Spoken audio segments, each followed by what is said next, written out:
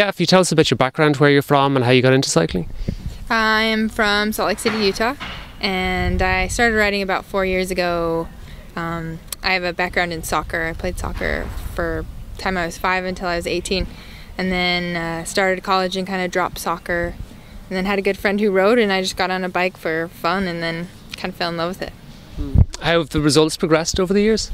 Pretty, pretty good. It's been a pretty rapid progression. Um, so it's it's it's learning every every single year, but I've um, gotten taken some big steps up, so it's exciting. What are you good at? I'm kind of an all-rounder For the past few years, I've been a domestique, so uh, big team player. But I hope to eventually uh, evolve into a GC rider. What do you think were the performances that kind of got you the attention of this team? Uh, I did pretty well at the Exergy Tour. I uh, it was kind of one of the first races I was given the ability to go out there and try. So um, I got in a lot of breaks in that race and caused a lot of breaks, and that was exciting. And then at the end of the season this year at Ardèche in France, I, I had a couple podiums, so it was good. At what point did you know the team was interested? Was it at Exergy or was it much later in the year? Later, a little bit later, I had contacted Kristy around the beginning of August, and then she contacted me, kind of confirming after Ardèche. Okay. Um, how have things been? You've been at this camp for a few days now, so has it matched your expectations? Oh, it's been amazing. It's the team's incredible, the staff's incredible, everyone around, the sponsors, media, dealers, everybody's been really great. Training's been going okay? Oh yeah, it's beautiful here. The roads are amazing. There's no traffic and it's just beautiful scenery. Has there been anybody on the team that's been particularly kind of helpful in giving advice, etc.?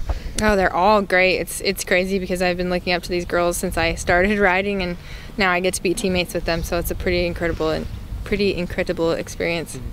What's uh, what's it? Um, how are things mapped out for the next few weeks? Um, you know, in terms of training, where you'll be, and also uh, your first race. Yeah, I go back to the States. I live in Northern California right now, so I'll go back um, until about early March, and then I'll go over to Europe, and I'm going to be living in Lucca, Italy. So I'll live, I'll be over there for the majority of the year. There's quite a few riders there. I think Taylor Phinney and a few others are there. yeah, a, so. a lot of people in Lucca, a lot of people in Girona.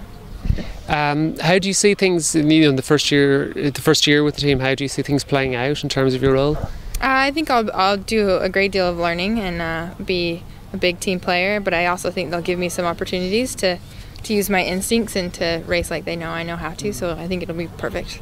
Are there any races in particular that you hope to ride? Uh, my biggest goal, I guess, is to qualify the, for the World Championships this year.